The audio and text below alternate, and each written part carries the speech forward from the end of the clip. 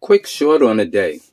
At a subscriber and a viewer's request, as you already know, what we're going to take a look at is Snap-on. This is a quarter inch magnetic ratchet, okay, made in the USA. To give you a quick part number, the part number is TM936 set. And this would be your Snap-on made in the USA quarter inch magnetic hex bit ratchet. Um, they wanted to take a, a further look at this particular ratchet because its face screws is at the back edge instead of the front. Okay.